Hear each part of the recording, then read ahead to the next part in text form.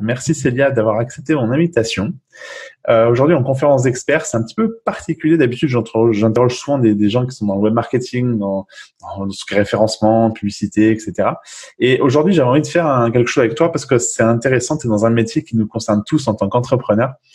Et, euh, et, donc, tu es experte comptable. Et je trouvais intéressant de, de voilà, changer un peu typologie de personnes que j'interroge et de te convier. Donc, merci à toi d'avoir accepté mon invitation. Euh, je vais te poser quelques questions du coup euh, que j'ai notées moi et qui reviennent souvent quand je suis en coaching avec des élèves ou les gens que je vois autour de moi, même même dans mon entourage, je, vois beaucoup de personnes qui font parfois des amalgames ou des erreurs. Donc on en parlera.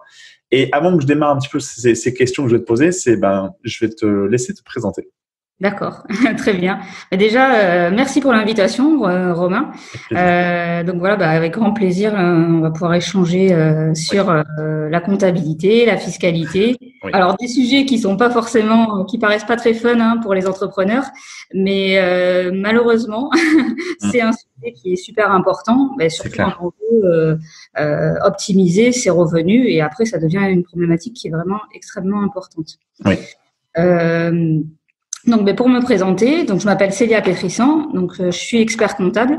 Euh, à mon compte, en fait, j'ai fondé le cabinet PMC Expertise Comptable. Maintenant, il y a un peu plus de trois ans. Euh, donc, notre métier, on accompagne les dirigeants d'entreprise dans leur développement, que ce soit lors d'une création d'entreprise pour l'aide au choix du statut, on intervient dans ce domaine. Euh, on intervient également pour la réalisation de prévisionnels ou business plans que ce soit pour la réalisation d'un, dans le cadre d'un financement bancaire, la banque va demander un prévisionnel qui a été établi par un expert comptable, ou simplement pour valider un modèle économique, pour s'assurer effectivement que le modèle économique est rentable et calculer euh, des, des seuils notamment qui sont importants, comme euh, le point mort, mhm.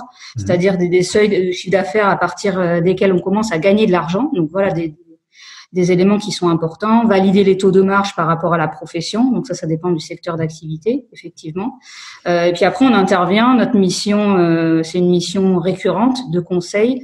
Euh, tous les ans, tous les ans, on établit les comptes des entreprises mmh. euh, et les comptes servent de base au calcul euh, de l'impôt en fonction du, du, choix, enfin en tout cas de la fiscalité retenue pour pour l'entreprise. D'accord. Euh, voilà, donc nous on a un cabinet de proximité. Euh, bon, on est on est cinq en fait au cabinet. On est situé sur Bordeaux.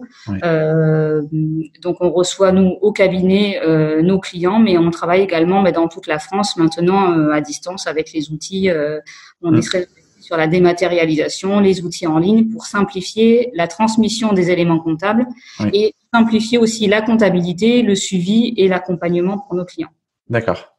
Alors, si je t'avais aussi demandé, parce que c'est que euh, j'ai trouvé que, je vais te faire un compliment là-dessus, mais je trouvais que tu avais un dynamisme qui était intéressant, parce que j'ai eu, moi, des cabinets comptables qui m'ont suivi, des gens bien, avec qui je m'entendais bien, mais souvent, alors, c'était un peu l'image. Aujourd'hui, on a peut-être changé d'image, mais moi, il y a quelques temps, c'était ça. C'est l'expert comptable qui a 55 balais, qui est assis sur sa position, qui connaît tout, enfin, qui, qui, est déjà un peu comme l'image qu'on a d'un avocat. Et, et, bon, ça, j'aime bien, il partage l'expérience, mais aujourd'hui, ça, ça évolue tellement vite. Il y a le web. Euh, voilà, il faut aussi se mettre euh, à la page. Et donc voilà, pour ça, je trouvais que ton analyse, ton approche était intéressante. Donc aussi, c'est pour ça que je t'avais demandé ce soir. Mais euh, mais donc très bien. En fait, tu as répondu à pas mal de questions que j'allais anticiper parce que j'allais la première question que j'allais te poser finalement, dans la globalité, pourquoi peut-on faire appel à un, un comptable ou un expert comptable? Et déjà, est-ce que tu peux nous la différence comptable et expert comptable? Oui, alors euh, comptable et expert comptable, effectivement, c'est un métier. L'expert comptable, c'est un métier qui est, c'est une profession réglementée. C'est-à-dire que pour s'installer euh, et pour euh, exercer la profession comptable, faire de la tenue de comptabilité ou préparer des bilans, euh, on est obligé de passer par un expert, un cabinet d'expertise comptable. on doit avoir un expert comptable qui est diplômé. Donc, euh, qui a le diplôme d'expertise comptable. c'est un diplôme qui est délivré à l'issue d'un bac plus 5 plus trois années de stage d'expertise comptable au total. Euh, et euh, effectivement, ça permet déjà euh, d'assainir, on va dire, la profession et la qualité de la profession. Parce que effectivement, nous, on a un ordre, on est une profession qui est réglementée, donc on a tout un tas de contrôles sur la qualité de nos travaux. Mhm. Euh, et autre chose importante, surtout pour les clients, parce qu'effectivement, aujourd'hui, on voit des personnes qui font de la comptabilité, mais qui sont pas habilitées à la faire. Et la grosse problématique pour les personnes qui font appel à, à ce type de, de, de prestataire, c'est que vous n'avez pas d'assurance. C'est-à-dire pour le, la délivrance des travaux, vous n'êtes pas assuré. S'il y a un problème euh, fiscal sur la réalisation des travaux, en cas de problème, euh, c'est la responsabilité du dirigeant qui est engagé D'accord. euh, en cas de faute professionnelle. Euh, nous, euh, la différence, c'est qu'effectivement, nous, on est couvert, on a une assurance professionnelle, donc on a le droit d'exercer, bien sûr. Ouais. Si c'est une faute commise dans le cadre de notre fonction, ben, nous, on a une assurance professionnelle derrière. Ah, quand tu, quand tu dis faute, ça serait quoi, par exemple? Ben, une, une erreur de comptabilité qui fait perdre de l'argent à la société ou euh, qui fait courir un risque fiscal. Ah, je savais pas ça. Voilà. Donc nous, on a une assurance effectivement, et c'est un gage ben, déjà de, de qualité pour les clients euh, et de recours en cas de problème. Nous, si on a un problème, on est responsable de nos travaux. C'est-à-dire, s'il y a un contrôle fiscal, euh, on va aller euh, bien sûr défendre notre travail. euh, et effectivement, s'il y a une erreur et un redressement euh, qui est réalisé sur la base de l'erreur, en tout cas de l'expert comptable, ben, on est assuré pour ça. Et donc le, le, le client, c'est une assurance pour lui derrière, effectivement. Ah, j'ai appris quelque chose, tu vois, je savais pas. Je m'étais posé la question de savoir si un comptable faisait un travail de, de sagouin, il y arrivait un problème dans la compta de la personne et que se fasse contrôler, qu'il y avait un souci. Quelle était la, la, la, la part de faute et l'engagement du Je savais pas. D'accord. Ça dépend qui est responsable, hein, parce que Oui. c'est-à-dire que euh, si effectivement euh, c'est le, le, le client qui nous transmet, par exemple, euh, euh, on va dire des fausses factures, qu'on n'a pas la, la capacité de valider les éléments, euh, là on pourra pas venir euh, nous dire euh, que l'on a fait effectivement une faute, par exemple. Bien sûr. Si on a fait une erreur dans le cadre d'une appréciation, euh, d'une règle spécifique, etc. Ben, en tout cas, nous, on a une assurance et effectivement, on peut venir chercher notre responsabilité euh, derrière. Donc c'est pour ça le, le titre expert comptable. Enfin déjà, c'est c'est c'est une obligation. On ne peut pas passer par un cabinet qui n'est pas un cabinet expertise comptable pour Oui. faire de la comptabilité, D'accord. profession réglementée. Donc c'est un délit en fait, hein, l'exercice de la comptabilité euh, en dehors d'un cabinet expertise comptable. C'est un délit d'exercice inégal. Ok. Voilà. Euh, mais en fait, c'est ça. C'est surtout l'assurance pour le client d'avoir euh, bah, d'avoir une responsabilité derrière, hein, en fait. Très important du coup, parce qu'il y a tellement de, de choses en plus à, à savoir, à comptabiliser. Bref, donc effectivement, si tu as tous les éléments, les vrais éléments que le client te donne, des vrais éléments et les bons éléments et qu'il te dit tout, effectivement, Mm. du coup derrière vous, vous avez une assurance. Euh, euh, je savais pas. Ok. On a une assurance et puis après nous, dans le cadre de notre profession, bah, on a des règles déontologiques. Oui. Euh, on a des, on, on doit se former chaque année. On a une obligation de formation. Et tout Ouais. ça, c'est pour assurer la, la qualité dans notre profession, en fait. Oui, du coup, ça justifie que l'expert comptable soit là parce que lui, il est, il est, il est à jour et euh, derrière, il te, il te, il te certifie la, la, la bonne, bonne, bonne comptabilité de ta boîte, euh, tout en ayant toi, en étant à jour avec les process, avec tout ce qu'il faut derrière. euh. C'est ça. D'accord. D'où le fait que c'est une pro- profession qui est, euh, qui est longue à atteindre. Bac plus 5, plus 3 ans en cabinet, euh, c'est Mm. pas donné à tout le monde. Déjà, il faut être motivé, il faut avoir envie. Et effectivement, voilà, ça, ça montre le long parcours scolaire qui fait que derrière, c'est quand même euh, une assurance d'avoir quelqu'un en béton euh, qui te fait ta compta. Après, il y a des bons, des moins bons, ça c'est clair. Mais dans la chaque globalité, profession, exactement. exactement, exactement. Il y a toujours des débats. C'est clair, il y a toujours des, des, des moins bons ou des, Mm. des meilleurs, peu importe. Mais en tout cas, la profession en elle-même est vachement euh, cadrée. Et d'accord. C'est ça. Ça, On est contrôlé, hein. on est contrôlé Oui, régulièrement. oui, ça, ok. Et, je- moi, j'ai une question à part. Là, euh, souvent, on parle de centre de gestion. Tu sais, euh, qu'est-ce que ça apporte en plus par rapport à toi, par exemple? Mm. C'est c'est une obligation, pas obligation, et ça apporte quoi finalement Centre de Alors, gestion? les centres de gestion, euh, l'intérêt, c'est pour certains types d'entreprises qui relèvent d'une fiscalité particulière de l'impôt sur le revenu. Ouais. Euh, l'intérêt, euh, il peut y avoir un intérêt d'adhérer à un centre de gestion. Si on a, en fait, si on n'adhère pas à un centre de gestion et qu'on relève de l'impôt sur le revenu, notre base euh, de revenus chaque année est majorée de 25% si on n'a pas adhéré à un centre de gestion. Donc, on va dire c'est quasiment euh, une obligation lorsque l'on est à l'impôt sur le revenu. C'est-à-dire lorsque l'on est, par exemple, en entreprise individuelle, Ouais. à l'impôt sur le revenu, par exemple, une profession libérale euh, en entreprise individuelle euh, ou une profession commerciale qui est en entreprise individuelle. Ah, je voilà. pas ça. D'accord. Euh, donc ça, ça nous, c'est notre, c'est également notre devoir de conseil. Quand on a un client qui est en- à l'impôt sur le revenu, bah, on doit lui signaler qu'il faut qu'il adhère à un centre de gestion parce que sinon, ses revenus vont être majorés de 25% au niveau de la base d'imposition. D'accord, d'accord. C'est Hors obligatoire. micro-entreprise. Ça, c'est hors micro-entreprise. C'est Oui. pour les entreprises individuelles qui relèvent de l'impôt sur le revenu sur un régime réel. D'accord, d'accord. Ok, ce qu'on appelle les CGA, en fait, ça, hein, du coup. Et ça. ok, donc toi, tu, tu, tu, tu vas les, les, les, les pousser à le faire parce que du coup, 25% d'imposition, ça, ça t'oblige Oui. presque à y passer finalement. Oui, c'est ça. Il y a ça, effectivement, et après il peut y avoir d'autres euh, d'autres intérêts euh, fiscaux. Euh, le fait d'adhérer à un centre de gestion parfois permet de bénéficier de réductions d'impôts, notamment sur les honoraires comptables. Ah, ok. Donc ça, on le signale également aux clients. Il peut y avoir un intérêt également pour ça. D'accord. En fait, finalement, le bout du bout, c'est que pour, pour les impôts, ça permet de s'assurer que finalement, il y a une vérification qui a été faite au préalable par des centres agréés, plus un expert comptable derrière. Donc, en fait, il y, a, moins de contrôle logiquement derrière. C'est ça. Logiquement, il y a moins de contrôle, effectivement, parce que les centres de gestion, après, chaque année, font des contrôles de cohérence sur les dossiers. Ils vérifient certaines statistiques euh, du secteur d'activité, ils valident certains éléments, ils posent des questions complémentaires et ils font une sorte de pré-contrôle euh, ça peut être un pré-contrôle pour l'administration fiscale. Euh, ceux qui relèvent d'un centre de gestion, aujourd'hui, peuvent être contrôlés. Il y a un contrôle un peu poussé du centre de gestion où il faut lui transmettre euh, l'ensemble des éléments comptables, certaines factures et ils font des contrôles en fait. D'accord, d'accord. Ok. Bon, tu vois, là aussi, j'ai appris quelque chose. Je ne savais pas que c'était imposé comme ça. J'avais vu récemment qu'il y avait quelque chose sur les CGA et qu'il bénéficiait d'avantages, une déduction mm. sur les, frais euh, comptables, mais je ne savais pas que ça allait comme ça. Donc, euh, d'accord. Alors après, pour les, sociétés, pour les sociétés, qui, enfin, pour toutes les entreprises qui relèvent de l'impôt sur les sociétés, il n'y a pas forcément d'intérêt fiscal, par contre. D'accord. Ok. Donc, il n'y a pas un intérêt, un grand intérêt si de, de, de passer par le CGA. Non. non. non. En fait, j'ai envie de dire, tant que tu as un, un, expert comptable, un bon expert comptable avec toi, il y a quand même mm. déjà une bonne partie du boulot qui est faite. Oui, oui, c'est ça. Et puis, il n'y a pas d'intérêt fiscal à adhérer, à adhérer au centre de gestion parce qu'en fait, il ne va pas avoir de, de valeur ajoutée derrière, on va dire. D'accord, ok. Alors, je, vais juste euh, en fait euh, enchaîner, mais sur une partie qui va me concerner par rapport aux élèves que j'ai moi dans ma clientèle aussi, les gens que je coach. Euh, mm. souvent, on parle de micro-entreprise, alias auto-entrepreneur. Qu'est-ce que tu pourrais recommander toi? Parce que du coup, la fiscalité est plus légère, la comptabilité est plus légère aussi. Et malgré tout, on est quand même capitaine d'un navire parce qu'on est euh, à la tête de sa société, sa boîte. En tout cas, on est entrepreneur en étant auto-entrepreneur, enfin micro-entrepreneur. Qu'est-ce que tu pourrais, euh, qu'est-ce que tu pourrais recommander aux gens qui se lancent ou même aux gens qui sont déjà auto-entrepreneurs à ce niveau-là? Parce que c'est pas obligatoire la compta, je crois c'est ça. En fait, un statut de micro-entreprise, c'est un statut qui est bah, dérogatoire, on va dire, aux entreprises classiques. C'est un statut qui est forfaitaire et simplifié. Donc, c'est un régime fiscal qui va être extrêmement simple pour commencer, c'est-à-dire qu'il n'y a pas d'obligation de tenue de comptabilité. Donc, ça, c'est très bien. On n'a pas besoin d'un expert comptable. C'est très simple au niveau des déclarations fiscales. On déclare simplement le chiffre d'affaires qui est encaissé. Et en fait, on est imposé forfaitairement sur ce chiffre d'affaires. Par exemple, en dehors euh, d'abattement pour euh, pour euh, créateurs d'entreprise, quand on fait de la prestation de service, mmh. on va dire on a posé à peu près à 23% sur le chiffre d'affaires encaissé en fait.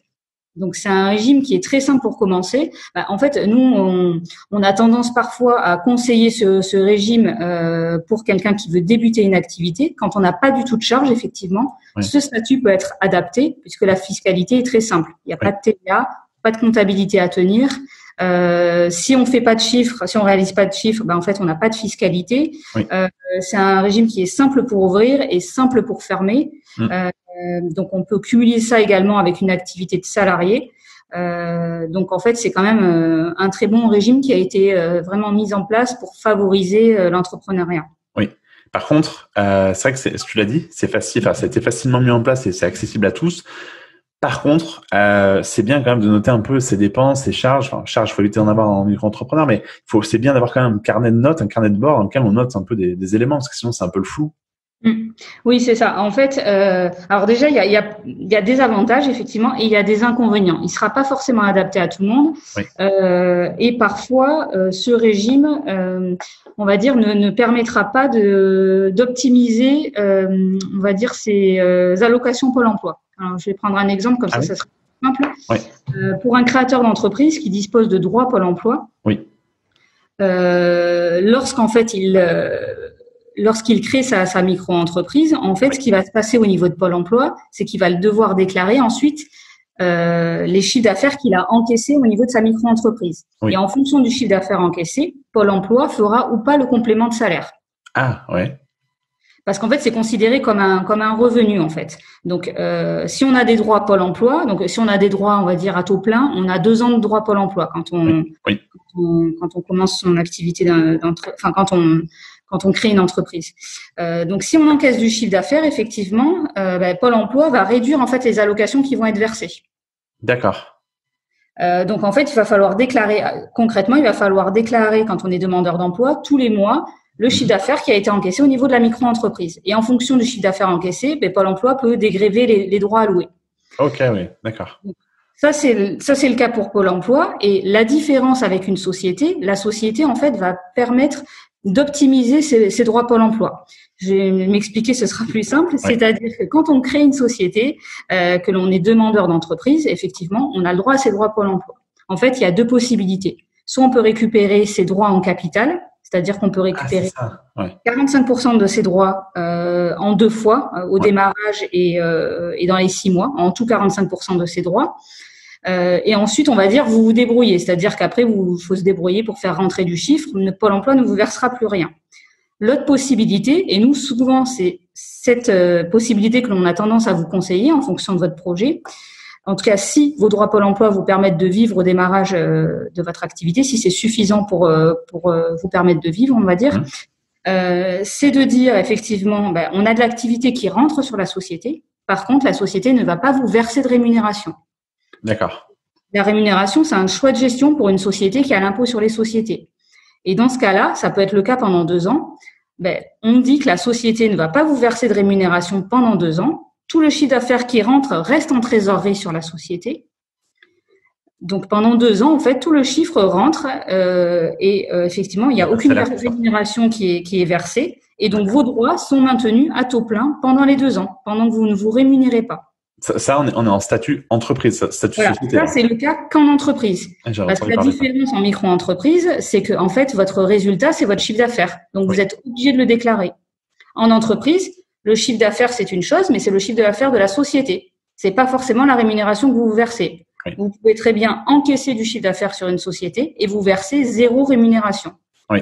Dans ce cas-là, Pôle emploi vous maintient vos droits à taux plein jusqu'à la fin de vos droits. D'accord, d'accord. Ça, j'ai entendu parler, mais je ne savais pas que c'était pour ceux qui veulent créer une société. Je pensais que ça s'adressait aussi aux autres enfin, micro-entrepreneurs. Mais ok, donc micro-entrepreneurs, ils peuvent avoir un complément avec le salaire qu'ils vont déclarer tous les mois. Et entrepreneur, donc sous un statut société, va pouvoir bénéficier aussi de Pôle emploi euh, avec une somme euh, spécifique allouée à ses allocations. Et derrière, du coup, ça lui permet d'optimiser le fait de pas prendre de salaire sur sa boîte, mais vivre avec ses allocations chômage, entre guillemets. C'est ça, c'est ça. D'accord, Ça permet, la société, dans ce cas-là, permet de récupérer 100% de ses droits hmm. pendant deux ans. Oui, c'est bien pour se lancer. On va dire que quand même, malgré tout, on dit souvent qu'on est un pays euh, très chargé dans hmm. tous les sens. Par hmm. contre, ça, ça a quand même un, avantage. Ça permet de mettre un pied à l'étrier tranquillement. Euh, donc, ça, ça c'est un bel avantage, faut le dire. Ah, ça, c'est un très, très gros avantage parce qu'en fait, bah, concrètement, ça permet de lancer un projet. En France, en tout cas, quand on a des droits Pôle emploi, ça permet de lancer un projet quasiment sans risque. C'est-à-dire que vous savez que pendant deux ans, vous avez vos droits qui vont tomber, hmm. quoi qu'il arrive, et vous avez de la trésor qui se fait sur votre société. Et l'idée, enfin voilà, nous c'est ce qu'on conseille, c'est comme ça.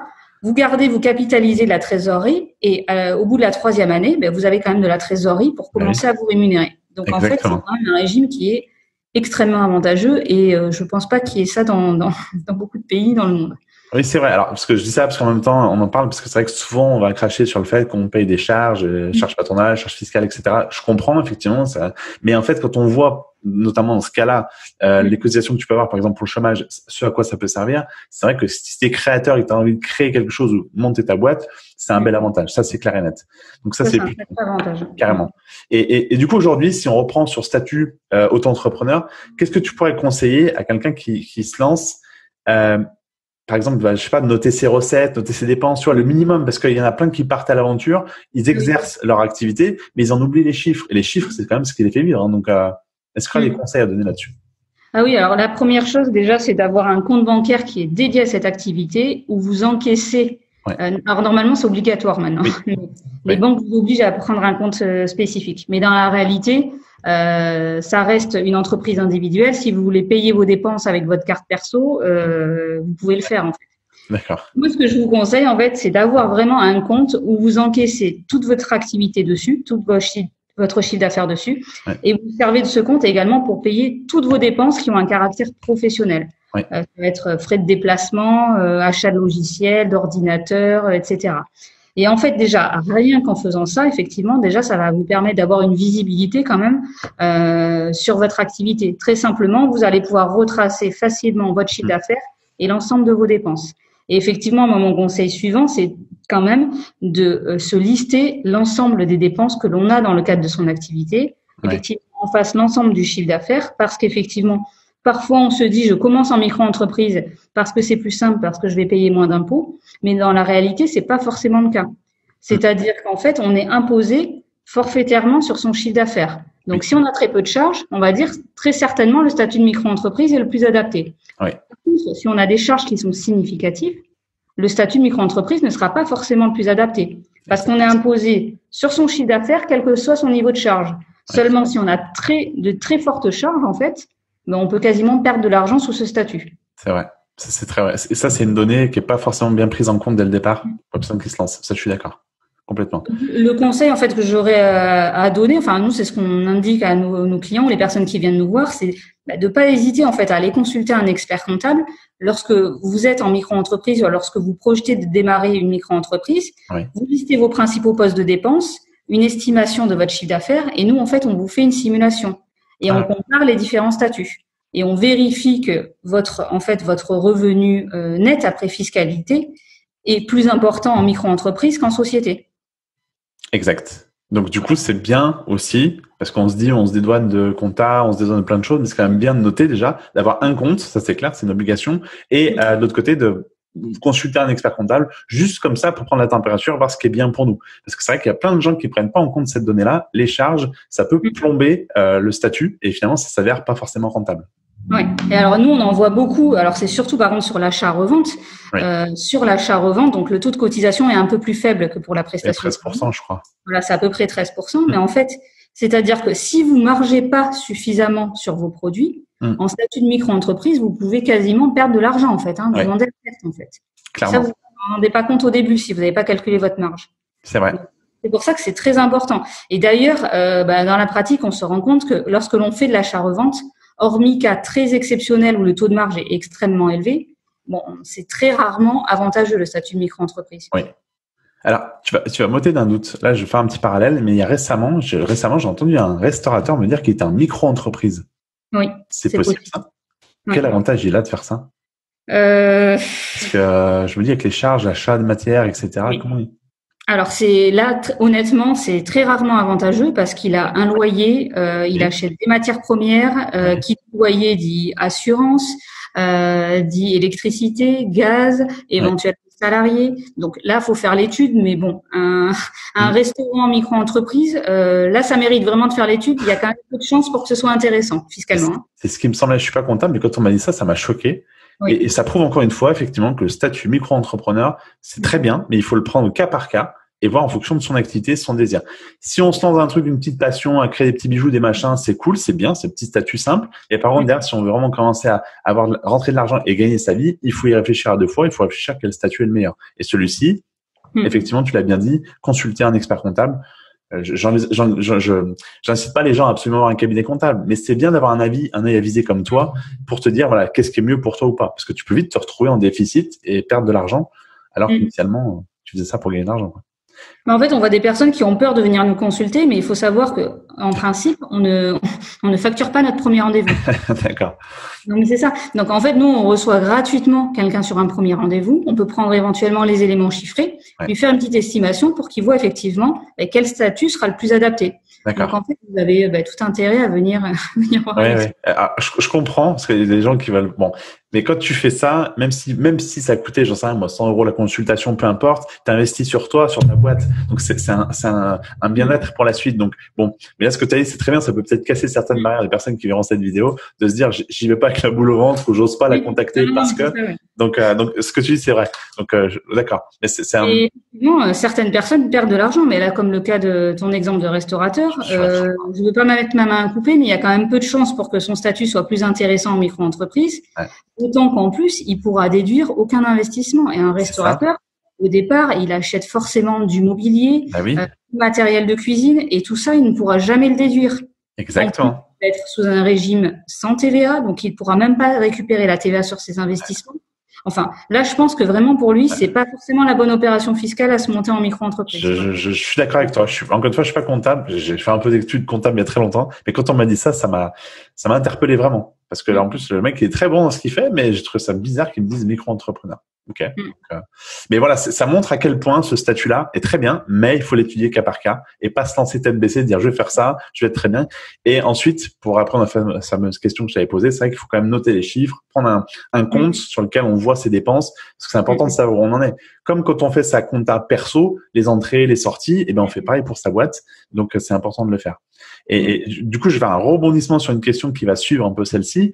C'est finalement, euh, j'avais noté moi, souvent dans mon entourage, j'entends souvent les gens me dire chiffre d'affaires égale bénéfice. En gros, ce qui rentre dans la caisse, on tape dans la caisse, c'est bon, c'est parfait. Après, il y en a qui disent oui, mais non, euh, mais dans les faits, quand l'argent rentre dans leur caisse, moi j'en vois, ils utilisent ça comme comme du bénéfice. Euh, c'est une erreur euh, qui peut être fatale. Euh, Qu'est-ce que tu dirais à ces gens-là? Parce que je connais vraiment de tous bords, hein, des gens qui, qui, ont, qui, ont, vraiment un parcours assez, assez prenant et qui font encore cette erreur-là. Donc je me dis, mais tu peux pas aller très loin comme ça.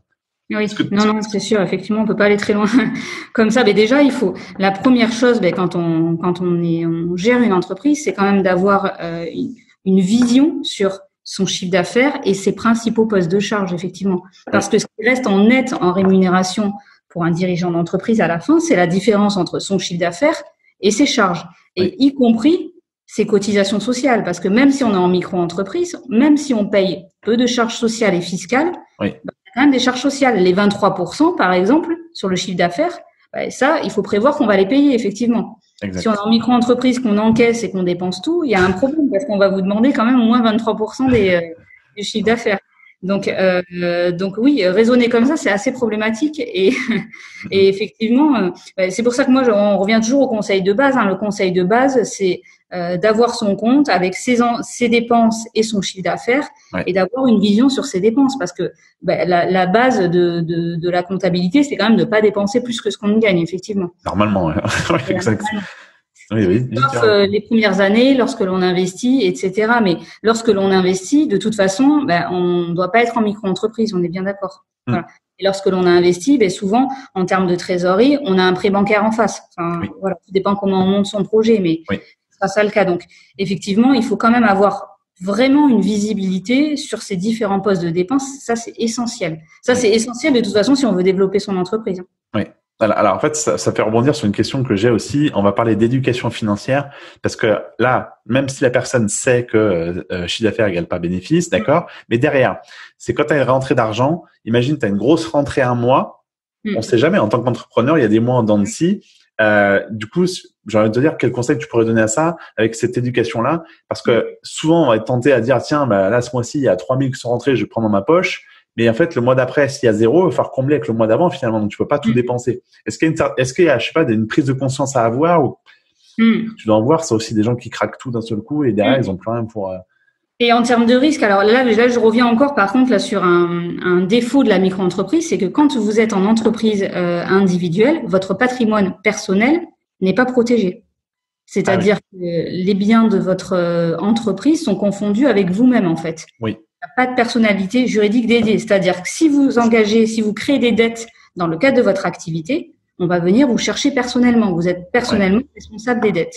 Hum. Et ça, c'est différent en société. Quand on est en société, au départ, on donne un capital social à sa société, enfin, on apporte au départ un capital. Oui. En cas de problème, si on est en difficulté financière, on ne pourra pas venir vous chercher en dehors du capital que vous avez mis au départ. D'accord. On a une responsabilité qui est limitée au montant de son capital social.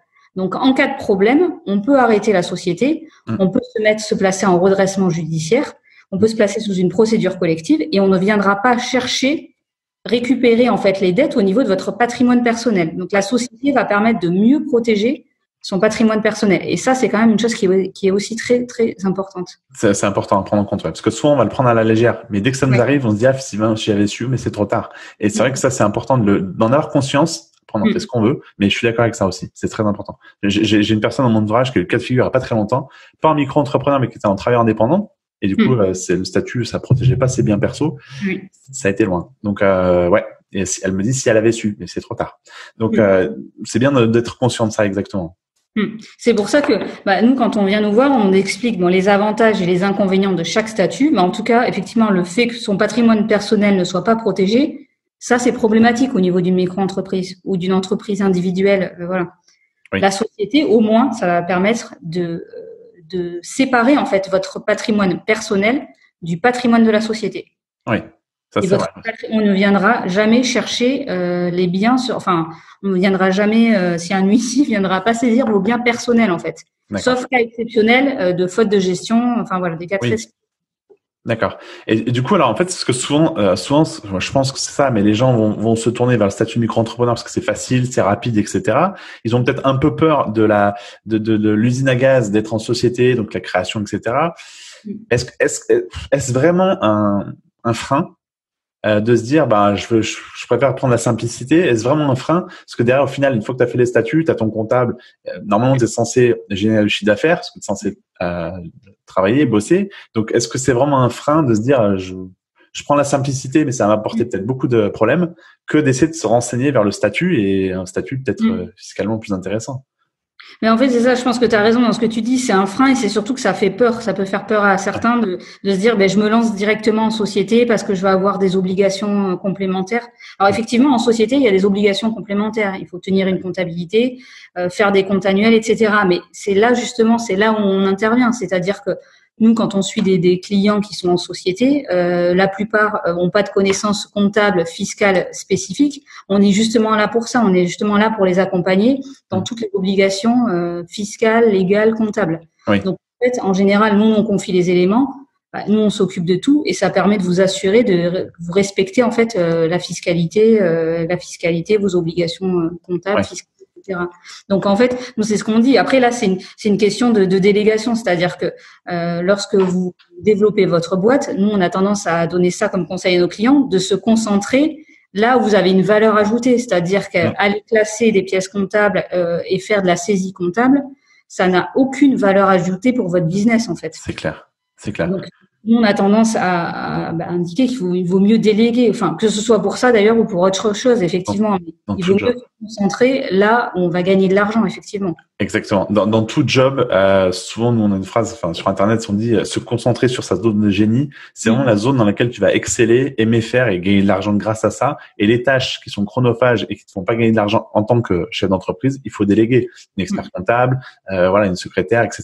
Donc effectivement, c'est un point. Et, et, en fait, ça me fait penser aussi une question, ça me vient en parlant, c'est que quelqu'un, si tu prends deux cas de figure, quelqu'un qui est pas éduqué à l'entrepreneuriat, qui veut se lancer en micro-entreprise parce que tout le monde le fait, parce qu'il a envie de le faire, et quelqu'un qui veut vraiment se lancer en société. Souvent, l'approche est déjà pas, tout à fait la même en termes de personnalité que tu as derrière, en termes de chef d'entreprise. Je pense que l'approche la, est pas la même. Quelqu'un qui vient vers toi pour un statut société a déjà pensé, ah, je bien en, en partie à son business model, à ce qu'il va faire, etc. Un micro-entrepreneur, je dis pas que c'est moins bien, mais souvent euh, tu as ton voisin du coin qui va lancer son truc parce qu'il a vu que c'était bien, c'est sympa, c'était facile, mais concrètement derrière il n'a pas un vrai plan d'action euh, pour travailler, pour avoir un, vrai revenu qui tombe tous les mois. Donc je pense que là il y a deux, deux aussi deux cas de figure, deux types de clients aussi que tu peux avoir en face de toi. Hmm.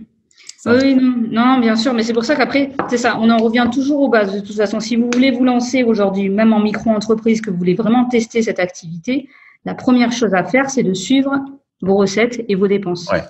Voilà, pour avoir la notion déjà des choses. Et effectivement, euh, tout à l'heure, tu me posais la question, et je crois qu'en plus que j'ai même pas répondu à la question, des revenus en dents de scie. Donc ça, effectivement, c'est une réalité pour tous les entrepreneurs. C'est que parfois, on peut faire un bon mois et parfois un mauvais mois. Ça dépend de l'activité, de la nature de l'activité, mais en fonction de son activité, c'est le cas. On peut pas avoir une activité qui est linéaire, sauf euh, activité à abonnement, euh, par exemple, la restauration. Enfin voilà, il y a des, des activités particulières, mais ça, c'est logique en fait d'avoir des variations d'activité. Donc c'est pour ça qu'il faut appréhender les revenus dans leur ensemble. Il faut faire une estimation du chiffre que l'on va avoir dans l'année, estimer ses postes de dépenses ben, pour savoir euh, quelle rémunération va pouvoir se verser dans l'année. Une estimation de rémunération, qui mm. quitte à ajuster en fin d'année si on a fait mieux que ce qui était prévu. Exact. Exact. Et, du coup, ça me faisait penser à quelque chose. Euh, bah là, en fait, on est en plein dedans avec la pandémie qu'il y a eu, le Covid, etc. Tu vois, tous ceux qui bossaient peut-être super bien janvier, février et mois de mars, on était confinés. Alors oui, après, bon, il y a les aides de l'État, mais je veux dire, ça met un coup au moral parce que d'un seul coup, d'un seul, t'as plus de chiffre d'affaires qui rentre. Mm. Effectivement, il y a des aides euh, à côté, mais globalement, dans ton activité d'entrepreneur, tu vois le chiffre d'affaires qui est à zéro ou qui approche du zéro. Euh, mm. c'est vrai que c'était pas prévu au menu. Donc ça, effectivement, il faut savoir l'anticiper. En, en, tant que chef d'entreprise, il faut même micro-entrepreneur, il faut, mm. faut savoir l'anticiper et pas s'amuser à dès qu'on touche l'argent, tout encaisser, s'amuser, le flamber. Non, je pense qu'il y a une vraie, vraie conscience, vraie mm. éducation financière de la part de la personne qui veut entreprendre ou qui entreprend globalement. Hmm. Bah, de toute façon, je pense que c'est comme tout. Si on veut vraiment se développer, à un moment donné, il va falloir être prévoyant. Il va falloir prévoir et anticiper les choses. Si on n'est que dans la réaction dans son activité professionnelle, ça va poser un problème. Et effectivement, ça, ça, enfin, la crise malheureusement du Covid a remis un peu les pendules à l'heure de certains. C'est-à-dire que ceux qui étaient vraiment très justes en termes de trésorerie se sont retrouvés en difficulté. Et euh, là, aujourd'hui, ça oblige euh, à prendre conscience du fait ben, qu'il faut quand même être un minimum prévoyant. C'est-à-dire, c'est ça, quand on a de l'argent qui rentre, euh, il faut pas dépenser immédiatement la totalité de l'argent. Exact. Et, puis bien souvent aussi, ben là il y a la pandémie qui a eu lieu, mais il y a par exemple si tu veux investir aussi, si tu veux investir quelque chose de nouveau, une machine, un script, ce que tu veux, un PC, n'importe quoi, il faut que tu aies de la trésorerie pour pouvoir investir encore une fois en toi, dans ta boîte, pour après évoluer, avancer et puis après avoir un effet cumulé. Mais effectivement, mm. donc ça peut servir aussi à ça non seulement pour le bien-être de la personne, pour qu'elle puisse vivre sereinement sur les mois qui viennent, mais aussi ben, prendre conscience qu'elle peut investir tôt ou tard pour faire grossir sa boîte. Et donc ça aussi, elle aura besoin de trésorerie. Donc si elle se met à tout cramer euh, euh, dans, dans, un chat de fringues ou en boîte de nuit, c'est vrai que ça va pas le faire.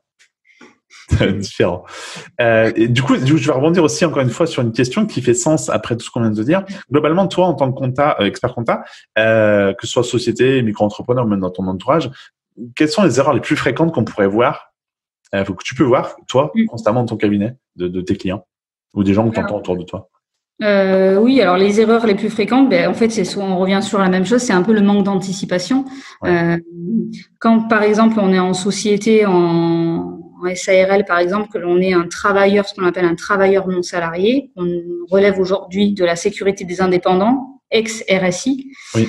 Euh, on paie des cotisations sociales, mais il y a toujours un décalage entre le montant appelé une année mm. et une régularisation qui intervient un an plus tard, en fait.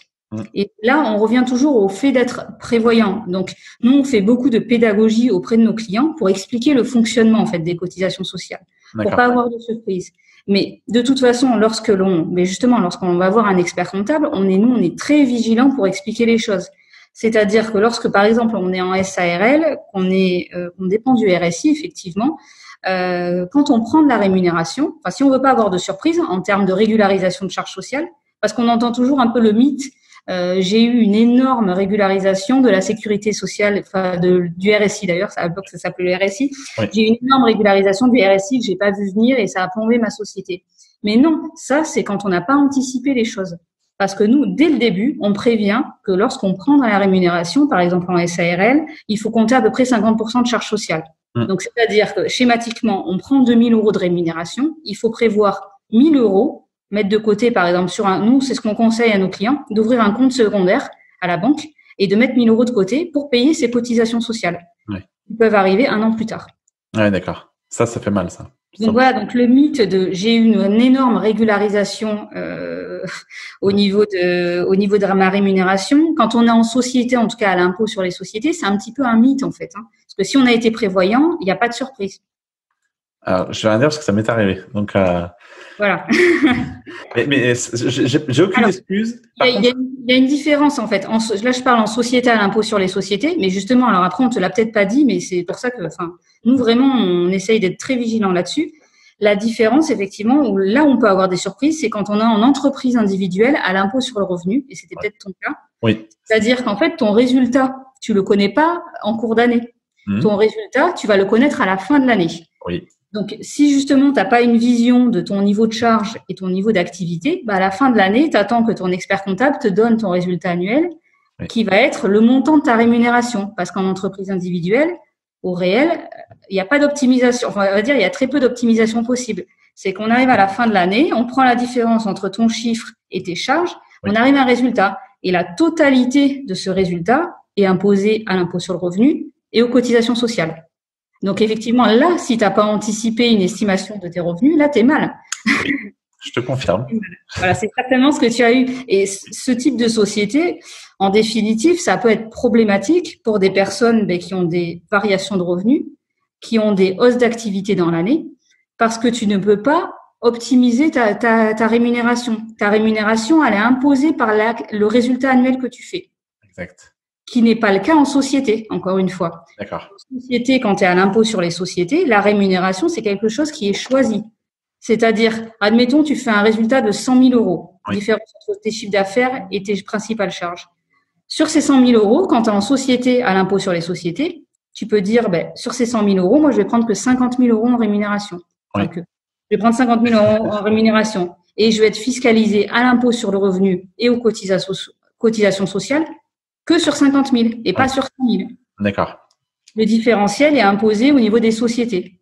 D'accord. Quand tu es en entreprise individuelle à l'impôt sur le revenu, la problématique, c'est que tes 100, 100 000 euros de résultats, eh bien, tes 100 000 euros de, de résultats, c'est ta rémunération annuelle. Donc, impôt sur le revenu au barème progressif, donc là, c'est un gros problème, et, euh, et cotisation sociale en totalité sur ce résultat, alors que tu n'as pas forcément besoin de la totalité du résultat. Exactement. C'est exactement ce qui s'est passé. Et, c'est là aussi, du coup, je, je, je, pense à ça, mais d'où l'importance d'être bien conseillé. Parce que tu vois, mon mm. comptable à cette époque-là m'avait pas dit grand-chose. J'étais étonné de pas recevoir de charge sociale sur le coup. Enfin, c'était un peu particulier parce qu'il y a eu une, en fait, il y a eu une compression de la base euh, en 2008 entre euh, l'ancien statut et le nouveau statut. Il y avait un truc, je me rappelle plus précisément quoi. Et je me suis retrouvé dans, dans le flot et il y a plein d'entrepreneurs comme moi qui n'avaient pas été, qui n'avaient pas reçu leur appel à cotisation. Mon comptable, mm. ça l'avait pas inquiété, donc déjà c'est pas très normal. Ensuite, il est, dans son conseil, c'était pas top. Et le jour où j'ai reçu une lettre du RSI, je peux te garantir que c'était pas, c'est pas la fête. À payer sous les jours, c'était pas, c'était pas très sympa. Donc, euh, d'où l'importance d'avoir un bon comptable qui te conseille ou expert comptable et derrière, quand même, d'être consciencieux de ça, de mettre de côté les choses pour éviter leur surprise. Vaut mieux euh, se dire, tiens, j'ai anticipé, je peux payer, il m'en reste même pour moi, que de se retrouver sur la paille et dire, attends, j'ai plus une thune et j'ai tout, tout craqué. Donc, euh, mm. Carrément. D'accord. Donc ça, ça fait partie des erreurs que tu peux voir dans la façon de gérer, mais dans ton entourage ou dans tes clients, des, erreurs récurrentes qui peuvent venir. Euh, si toi tu fais pas ton conseil là-dessus, les gens ont tendance à se laisser un peu aller ou pas appliquer. Euh, spontanément. Oui, oui c'est ça. Donc euh, nous, voilà, on est vraiment très vigilants là-dessus. Et après, les principales erreurs, ben, souvent, effectivement, c'est qu'on voit des personnes qui, qui sont par exemple en micro-entreprise depuis deux ans, trois ans, et en fait, et qui nous disent, ben, j'ai très peu de charges, je ne sais pas s'il faut que je passe en société ou pas. Bon, et en fait, très peu de charges, on fait le calcul. Mais au final, ils n'ont pas très peu de charges parce qu'en fait, ils ont euh, des frais de déplacement. Ça va très vite. Euh, ils ont euh, ils ont acheté un ordinateur euh, dans l'année. Euh, ils ont une prévoyance euh, pour pour prévoir leur perte de revenus éventuelle. Hmm. Ils ont une mutuelle. ils ont un frais téléphonique, internet. Enfin bon, voilà. Et en fait, quand on liste les charges, en fait, eh bien, en fait, elles sont significatives. Et en fait, du coup, le statut n'était pas forcément le statut approprié. Donc d'où le fait de noter sur un papier, sur un carnet, sur son PC, sur ce qu'on veut, les charges pour, pour visuellement voir euh, concrètement combien on a. Parce que c'est vrai que oui, effectivement, il y a plein qui vont dire j'ai pas beaucoup de charges, mais ni bout à bout, euh, mm. finalement, ça fait un petit montant. Et ça, on s'en rend pas compte si je pense on l'a pas en face des yeux à voir précisément euh, mm. les montants qu'on va payer. Donc c'est important voilà, de tenir quand même malgré tout, peu importe le statut, une petite compta à son niveau. Après, effectivement, d'avoir un comptable derrière ou un expert comptable, mais c'est super important. Mm. Je vais aussi donc du coup te poser une question sur un truc qui va faire encore une fois la suite de ce qu'on est en train de dire. On parlait tout à l'heure, je te disais que souvent ça peut faire peur aux gens de dire bah, mettre en société, oui, mais alors j'ai des frais là, des frais là, ça va être compliqué. Donc ils ont peur du statut. Maintenant à l'inverse, souvent on dit en France qu'on est un peu le pays le plus taxé au monde, ou on fait partie des, pays les plus taxés au monde. Et quel serait toi ton point de vue euh, en tant qu'expert comptable là-dessus? Alors, il y a des taxes, on va pas se le cacher. Mais globalement, parce qu'en fait, je te dis ça parce que. qu'il y a des taxes, hein. J'ai vu des entrepreneurs euh, dire beaucoup, alors beaucoup prônent d'aller euh, s'expatrier et autres. Ok, pas de problème, ça, je, respecte. Et il y a d'autres qui, qui sont 100% en France, qui font en France et qui expliquent avec des montages, des façons de faire, il y a moyen quand même de réduire sa fiscalité. Donc finalement, il y a, il y a deux sons de cloche, mais en tant que population, on va toujours se dire on est trop taxé. Hmm. Peut-être. Mais donc, quel est ton point de vue là-dessus? ben, on va pas se le cacher, effectivement, qu'en France, on est, on est très fiscalisé, ça c'est sûr. Euh, après, on est souvent en train de se plaindre et on remarque pas les choses qui sont quand même euh, bien faites en France. Et notamment, la première chose, on, on en a parlé tout à l'heure, c'est Pôle Emploi. Euh, Je pense quand même qu'il y a peu de pays où il y a ce régime qui permet quand même de tester un projet d'entreprise quasiment sans risque. Ça c'est vrai. Ça, ça me semble déjà euh, extrêmement important. Ensuite, effectivement, euh, en restant dans la légalité, quand on est en société, quand on fait le, le, le point sur les dépenses que l'on peut déduire, il y a quand même tout un tas de dépenses que l'on peut déduire en fait. Oui. Et qui viennent diminuer la base d'imposition. Euh, donc, effectivement, hein, après, euh, lorsque l'on a des résultats qui sont assez importants, on est très fortement fiscalisé. Mais c'est pour ça que dans ce cadre-là, euh, il va falloir être en société et pas en entreprise individuelle. Et donc là, nous, on a notre devoir de conseil. Justement, quand on fait des résultats qui sont extrêmement significatifs, si on est en entreprise individuelle à l'impôt sur le revenu, comme on l'a vu tout à l'heure, c'est extrêmement problématique. on n'optimise rien et on paye beaucoup trop d'impôts sur le revenu et de cotisations sociales. Lorsque l'on est en société, on, le rappelle, mais la rémunération, c'est quelque chose qui est choisi. Donc, si on n'a pas besoin de la totalité de l'argent, on n'est pas obligé de tout prendre. On peut laisser l'argent sur la société. Et après, effectivement, il existe d'autres dispositifs pour pouvoir réinvestir cet argent derrière avec une fiscalité euh, qui est beaucoup plus intéressante. Ça peut être, par exemple, passer par un schéma holding. Donc, en fait, c'est-à-dire que on a du cash sur une société d'exploitation et on veut euh, se servir de cet argent par exemple, pour réaliser un investissement locatif, pour investir dans l'immobilier. Par un schéma, en fait, holding, on peut monter une holding au-dessus de la société d'exploitation. Oui.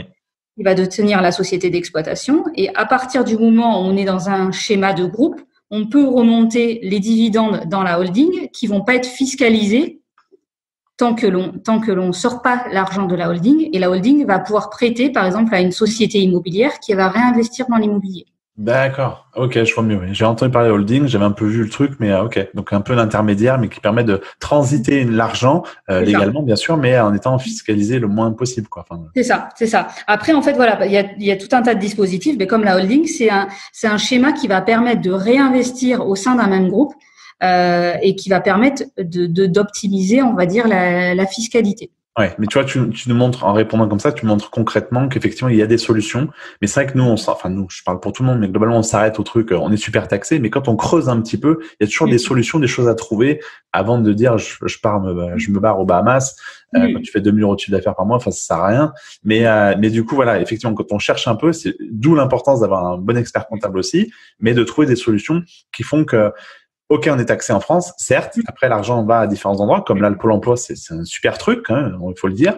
Et puis, et puis globalement, on peut réussir à, ouais, à réduire sa fiscalité, quoi qu'il en soit. Hmm. Et puis voilà, là on l'a vu justement avec une crise comme ça. Euh, ben, je pense qu'il y a bon nombre d'entrepreneurs en France qui sont contents quand même d'être en France parce que il y a eu des aides. Alors pour les micro-entreprises, ben, effectivement, on peut être indemnisé jusqu'à 1500 euros lorsqu'on a fait la perte de chiffre d'affaires. Oui. Euh, donc c'est quand même euh, quand même euh, significatif et ça a permis à beaucoup de personnes de passer la période. il y a eu des exonérations temporaires de charges sociales, il y a eu des prêts de trésorerie qui ont été accordés, il y a eu quand même tout un tas de dispositifs et d'aides qui ont été octroyés pour passer la crise. Oui. Donc, il y a eu quand même vraiment des bonnes choses qui ont été faites. Euh, donc ça, faut quand même le signaler, hein, parce que même chose, on a toujours tendance à beaucoup se plaindre, mais il y a vraiment des bonnes choses qui ont été mises en place pour les, pour les entreprises. Donc même si ça a été très difficile, hein, je, ça, je, et en des secteurs d'activité, effectivement, ça a été très difficile. Euh, mais en tout cas, il y a des choses qui ont été mises en place et effectivement, il y a des le, le système français euh, permet quand même de pouvoir euh, réinvestir et euh, euh, d'être taxé, je pense, sur des, des, des formats euh, acceptable, on va dire, hein, parce que c'est-à-dire que c'est ça, on en a parlé via le schéma holding. Euh, lorsque l'on réinvestit son argent derrière, il y a quand même des dispositifs qui permettent de réinvestir derrière. Et derrière, en France, on a d'autres avantages, c'est-à-dire que, notamment si on veut investir dans l'immobilier, on a la chance d'avoir un système qui nous permet quand même d'être financé sur une euh, majorité du prix du bien. Alors, bon, les choses ont changé récemment avec les banques là depuis le 1er janvier. Les critères se sont un petit peu durcis pour avoir des financements pour l'immobilier, mais en tout cas, euh, on peut euh, investir avec très peu d'argent en capital au départ, mmh. notamment dans l'immobilier, ce qui n'est pas forcément le cas dans certains pays. Exact, exact. Mais c'est que si on commence à se comparer à d'autres, effectivement, on a quand même pas mal d'avantages, mm. quoi quoi qu'on dise. Hein. Euh, mm. Après, voilà, il y a, il y a les, les, inconditionnels du fait que voilà, on est super taxé, etc. Ils cherchent pas euh, plus loin. Mais si on creuse un peu, quand même, il y a toujours des petites solutions qui permettent de. Parce que souvent, euh, c'est pas une question que j'avais prévue, mais souvent on dire euh, s'expatrier pour optimiser la fiscalité, etc. Mais s'expatrier, ça veut dire que déjà, euh, si tu as une famille, c'est il faut déjà partir, c'est compliqué. Quand tu es un pays dans lequel tu as été élevé, c'est dur. Mm. Donc c'est pas si facile de s'expatrier, hein, parce que certains pensent qu'en claquant des dents, on y va. Mais il y en a beaucoup qui reviennent, hein, parce que l'herbe est, rarement plus verte ailleurs. Maintenant, oui, puis il faut, le pouvoir déjà. Alors après, sur une activité en ligne, ça peut être possible, mais c'est-à-dire qu'il faut passer plus de la moitié euh, de l'année à l'étranger. Hein. Euh, de toute façon, il y a des activités par nature qui sont impossibles à expatrier en fait. Hein. Oui, exact. on exerce une activité économiquement vraiment en France, bah, déjà physiquement, bon, on va pas pouvoir s'expatrier. Hum. Et puis, et puis, et puis, il faut, faut arriver à un certain chiffre d'affaires pour dire de penser à s'expatrier. Parce que il y a beaucoup qui pensent l'inverse. C'est d'abord comment je vais m'expatrier, mais ils gagnent pas une thune. Alors du coup, déjà, ça, il faut déjà se poser une bonne question au bon moment.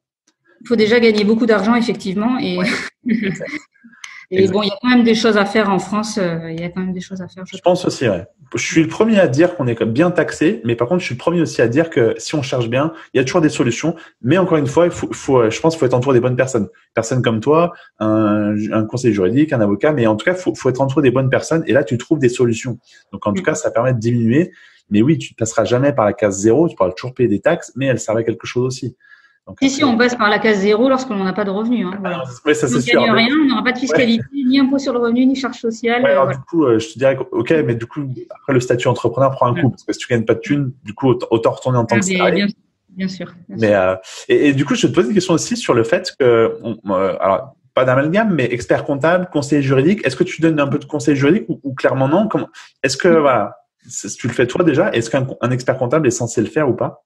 Alors euh, oui, donc nous on peut faire des prestations juridiques qui sont accessoires à nos missions classiques, c'est-à-dire que bah, très concrètement, nous, on peut monter une société quand on a quelqu'un vient nous voir effectivement pour créer une société, donc on peut s'en occuper. On peut s'occuper des opérations juridiques classiques. Après, euh, on va dire chacun sa spécialité. Nous, euh, on est un petit peu le médecin généraliste en fait des entreprises et on c'est-à-dire qu'en général, après chacun, euh, voilà, chacun exerce comme il entend, mais enfin, nous, en tout cas, enfin moi au cabinet, lorsque je sais faire, euh, je le dis, je le fais, on le fait. Euh, lorsque ce sont des domaines plus techniques ou plus spécifiques, nous on oriente vers un spécialiste. Donc nous, on travaille en partenariat avec des avocats fiscalistes spécialisés en fiscalité, en droit des sociétés, lorsqu'il y a vraiment une problématique qui est spécifique. Mhm. Euh, parce que le conseil sera euh, optimisé effectivement en passant par eux. Euh, même chose en droit social, on peut faire certaines choses, on peut faire certains contrats, les bulletins de salaire, etc. Par contre, lorsqu'il y a une problématique, un contentieux, nous, même chose, on oriente vers un avocat en droit social qui sera spécialisé et qui permettra d'apporter vraiment le, le, meilleur conseil. Donc, donc, après, effectivement, donc les cabinets d'expertise comptable de manière générale peuvent faire des actes juridiques pour nos clients, on peut le faire. Mais après, enfin, moi, je travaille comme ça en tout cas. Lorsqu'il y a vraiment des spécificités, nous, on renvoie vers le spécialiste qui sera le, le mieux à même de, de conseiller nos clients. D'accord, ok. Oui, tu es, à même de conseiller des personnes autour de toi qui vont apporter une solution euh, mm. euh, là-dessus. Mais bon, tu peux faire un peu de conseils, mais du coup, chaque, on va dire, chaque, euh, chaque personne a son job. Mm. mais c'est bien, l'analogie, j'aime bien le médecin généraliste de, de l'entrepreneur, c'est assez vrai en plus. D'accord. Et, et là, je vais te poser une question plus large, mais bon, il n'y a pas forcément réponse, mais pour peut-être pas faire forcément peur aux gens, mais qu'est-ce que, qu'est-ce que coûte l'intervention d'un cabinet comptable dans, dans sa comptabilité? Alors, tu me dis, il y a plein de cas de figure, certes. Est-ce que tu as des, mm. éléments à donner là-dessus. Oui, alors après c'est toujours difficile d'estimer euh, d'estimer les honoraires parce qu'en fait nous en général on travaille. Alors après chaque euh, chaque cabinet peut appliquer les tarifs qu'il souhaite, mais bon en général on travaille quand même au forfait. Donc en fait nous on estime un temps à passer sur le dossier chaque année. Euh, et en fonction d'un taux horaire, on donne un budget d'honoraires au client en fait, pour donner un forfait, pour pas qu'il ait de surprise en fait chaque année. Donc nous, on procède de cette manière, on rencontre notre client et en fonction de ses différentes caractéristiques, on va lui proposer un budget d'honoraires annuel. Et c'est lié euh, au volume de pièces comptables, euh, aux parties, à ces différentes particularités, euh, et voilà, et surtout au volume de pièces comptables en fait. Parce que mmh, pour prendre même chose, un exemple, si je prends par exemple euh, bah, deux, deux artisans, par exemple deux électriciens qui font exactement le même chiffre d'affaires, sauf que un fait du dépannage et euh, travaille qu'avec des particuliers, et l'autre fait que de la sous-traitance pour des grands groupes dans le bâtiment. Dans un cas, un, artisan va faire une seule facture de vente par mois à son client, et dans un autre cas, il va en faire cinq par jour. Mmh, Donc, euh, nous derrière, pourtant c'est la même activité et euh, c'est la même activité et il fait le même chiffre d'affaires. Mais en fait, on n'aura pas du tout le même travail derrière. le volume sera pas le même déjà. C'est ça, le volume sera pas le même. Donc c'est pour ça que c'est difficile de donner, euh, de donner, euh, de mmh. donner une fourchette. Mais après, on, on va dire euh, en fonction du volume, de la taille de l'entreprise, on va dire les honoraires peuvent varier entre euh, peut-être 1500 euros, ça peut commencer à 1500 euros, 2000 euros pour une petite société, et après ça peut monter, ça dépend en fait du, du, du nombre d'heures estimées de, travail sur, sur le dossier. Mais si tu veux, en fait, parce que là, ouais, c'est c'est une fourchette très, très, très large, on peut pas être euh, vraiment précis. Mais sur le prix que tu annonces, par exemple, si on part sur 1500 ou 2000 euros, déjà juste avec tout ce que tu as délivré comme valeur là, maintenant expliquer le métier et ce que tu apportes vraiment concrètement, ça les vaut. Enfin, je veux dire, dans, dans l'histoire, c'est on investit encore une fois sur soi-même, sur sa boîte. Si derrière, pour 150 euros à 200 euros par mois, on a un conseil, quelqu'un comme toi qui est, qui est en béton et sur qui on peut compter pour faire évoluer sa trésorerie, sa, sa, compta déjà et, et, faire fructifier sa boîte, ça, ça les vaut. Enfin, après, euh, après c'est comme tout, il faut savoir aussi investir pour justement euh, développer sa boîte. Donc, il faut, pas que ce soit un frein, mais souvent, on va se dire, entre la création de la boîte, ça coûte cher, le comptable, mm. c'est vrai que ça coûte cher. Ouais, mais ok, mais ça coûte cher, mais c'est pour ton bien, genre, c'est pour évoluer après, pour mm. peut-être diminuer des coûts, voir où est-ce que tu as des dépenses et puis améliorer. Donc, euh, donc, donc tu es quand même là pour, pour les aider. Donc, euh, ton prix est justifié.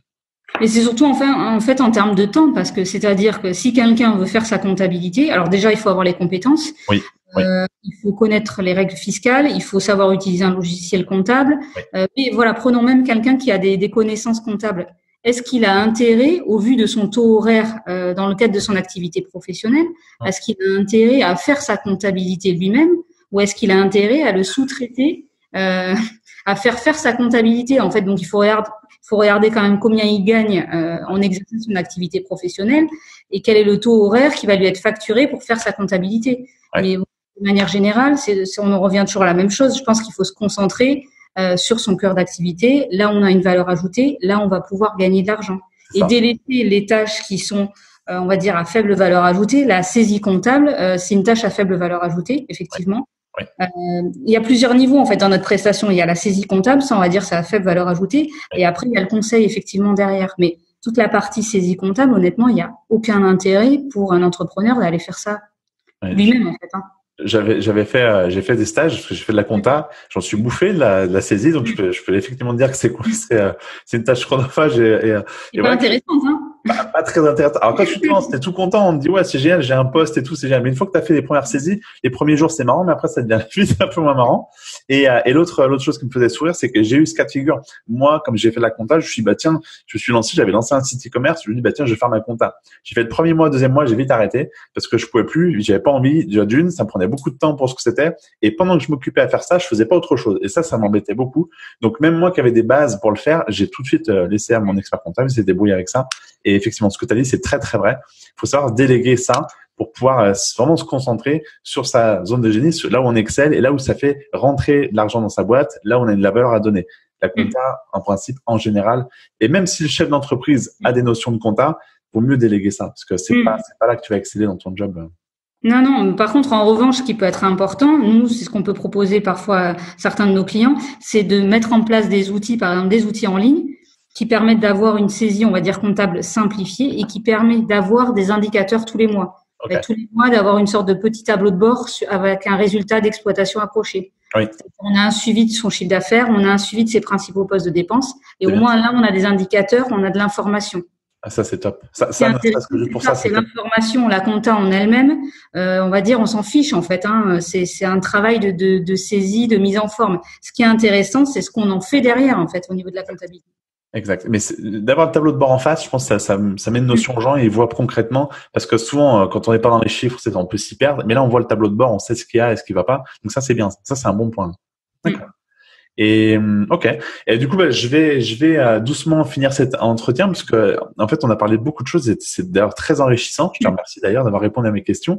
Si, si tu avais un, un, un, mot de la fin sur euh, pour parler à des gens qui voient cette vidéo, qui souhaitent entreprendre, qui sont peut-être déjà entrepreneurs, est-ce que tu auras un mot, euh, voilà, un mot de la fin pour conclure notre, notre euh, interview?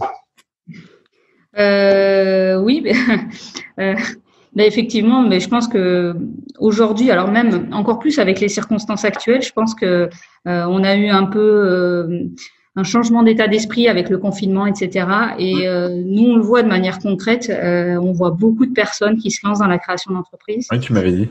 Et et je pense que le mot de la fin, ça serait de dire peut-être ne pas hésiter en fait à se lancer et de se dire justement en connaissant euh, justement ses droits, ses droits à Pôle Emploi, etc.